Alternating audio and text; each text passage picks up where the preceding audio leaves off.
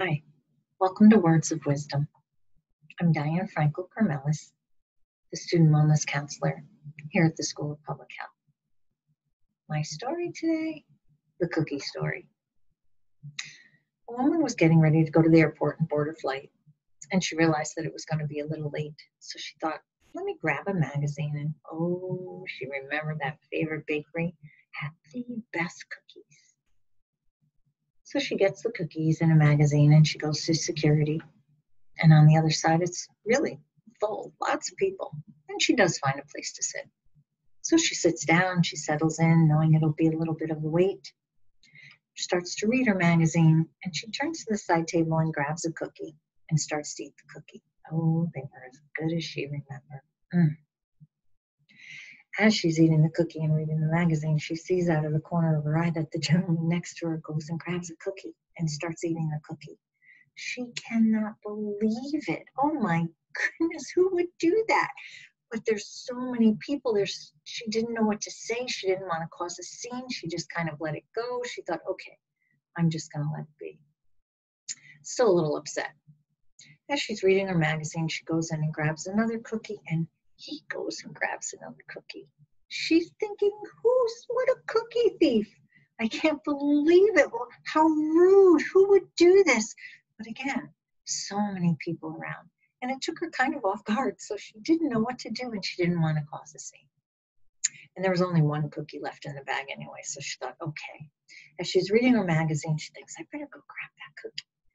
As she's going to get the cookie, he goes in the bag and takes the last cookie She's thinking, oh, I cannot believe what is happening. He takes the cookie and breaks it in half and goes to hand her half the cookie.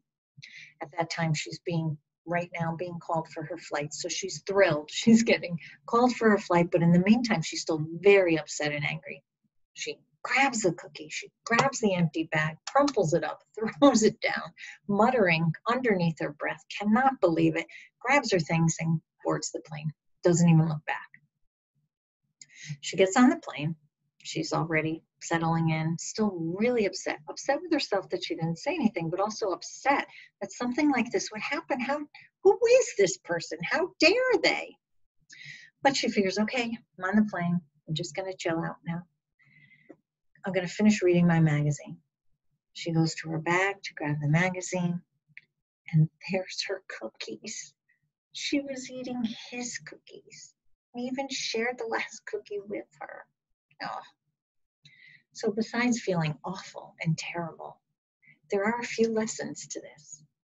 The one I want to focus on today is about being aware, about being present.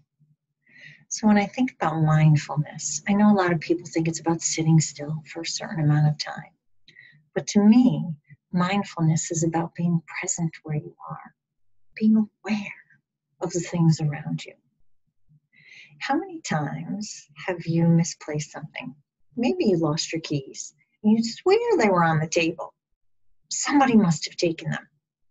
And then you find them later in your pocket. Or maybe money. money. Maybe you thought, where is that $5 bill I had in my pocket?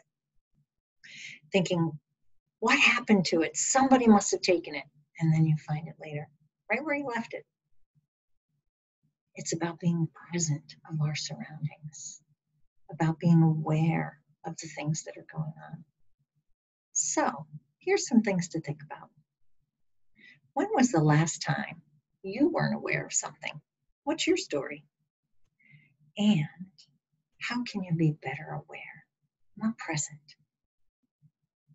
Be here now. Let me know. I hope you have a great day. See you again.